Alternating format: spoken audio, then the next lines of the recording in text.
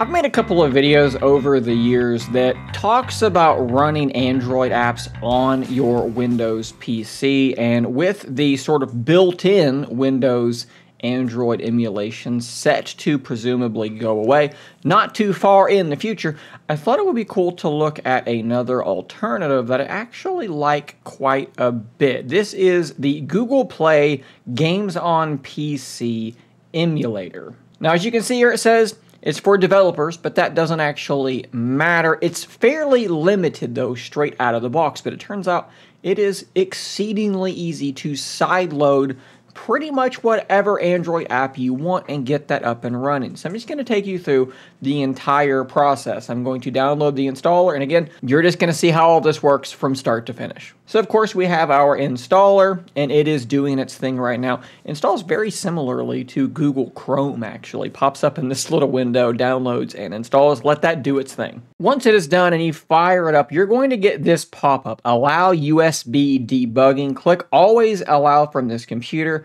and click on allow. That's going to let you do what you need to do. From here, you can swipe up and it's basically like a Pixel device or a, a stock Android device is probably more accurate because you don't have all the Pixel goodies. But this is all you have. If you jump instinctively into the Google Play Store, what you will notice is there are just basically no applications at all. What you're going to have in here are games, and that is just about it. And that might be good enough for some of you, but we're going to, like I said, we're going to side load some other apps. So initially, I figured the most reasonable, most logical thing to do here would be to install a third-party app store like Aurora Store or F-Droid. And I tried that, but I could not actually get them to work. It doesn't seem like those third party stores have the ability to install apps within this emulator. So you are stuck side loading things. So the simplest thing to do is go to some place like APK Mirror, grab your APK, and I'll show you how to install it. I'm going to pick one out here myself. So the first one that popped into my head was threads, and of course I go into it and there's a million different options. I would assume I should be looking for the x86 version.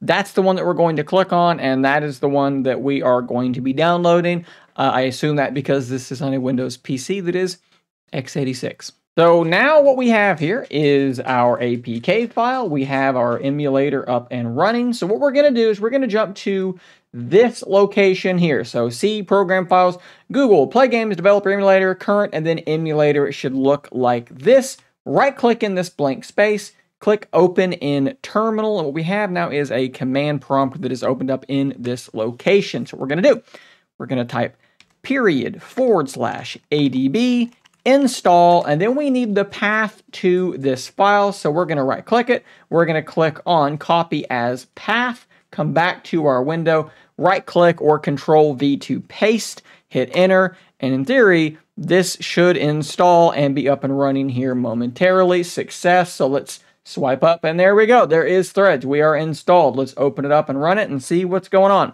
So there you go. As you can see, it is up and running and it really is that easy to sideload applications inside this emulator. I have had a couple of issues with this app. It looks like it's actually resolved now. Some things weren't seeming like they wanted to load, but everything does seem fine. Um, you know, one big advantage of this is that it comes directly from Google. It also does seem to fire up pretty quickly, so I think that this is an absolutely viable way to go. But there is another way to go, which we're going to quickly look at as well. This is BlueStacks, as they say, the world's number one Android emulator. Setup on this thing is pretty straightforward as well. Once you download the installer, run the installer, it's very self-explanatory. Then this is going to pop up, and this is going to be sort of the uh, the instance that is already there. So we're just going to click on Start, and it should fire up. And that actually did fire up pretty darn quickly as well. They basically have like their own launcher in here with an ad over here to the side as well. So these are all things that you kind of have to keep in mind. It's a little bit less bare bones, and sometimes that's good, sometimes that's not good. But you do, right out of the box, have access to the Google Play Store. Now, of course, that means signing in to your Google account, and you know you may have some qualms about giving your you know login information to a company that isn't Google, to this BlueStacks company. They have been around for a while.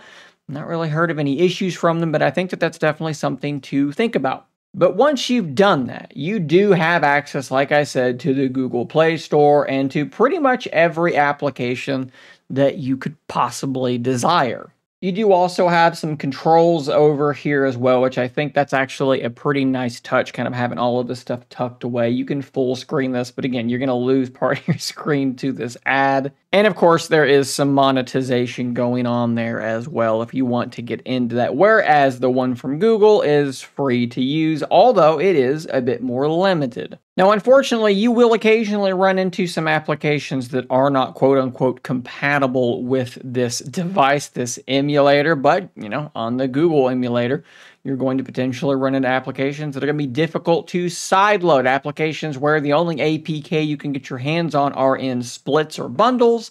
And there's not a super easy way to install those through the command line, at least not one that I'm aware of. If you know how to do that, drop a comment down below. But as far as I'm aware, that's harder to do as well. So there's some problems on both sides. My hope is that the emulator that is built into Windows will somehow get to continue living on. Maybe it will be maintained by a developer community, and maybe they'll figure out how to very easily integrate that Google Play compatibility. I loved how it would open up the applications in their own little windows, not within a window like this, like a little Android home screen, basically. I think that that is sort of a step back from how it was being done in Windows. But even that had some issues too, right? It was kind of difficult to get that Google Play compatibility. So, guys, there are a couple of options there for you to try out. Let me know which of them maybe you're using. Let me know if you're using a third, a different option, and how well that works for you, why you chose that one. Thanks for watching. Subscribe for more content like this, and until next time, stay nerdy, my friends.